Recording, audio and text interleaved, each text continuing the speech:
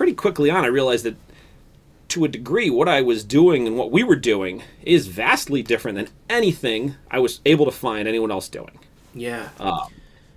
And and it it, it there was a bunch of guys sort of like right at the same time, like Jay and I were doing it, and I, I mean, I'd, I'd say there was probably five or six other guys in the same general areas that were doing it as well. Um, so kind of like they were the only ones that eventually I was able to talk to and compare a little notes.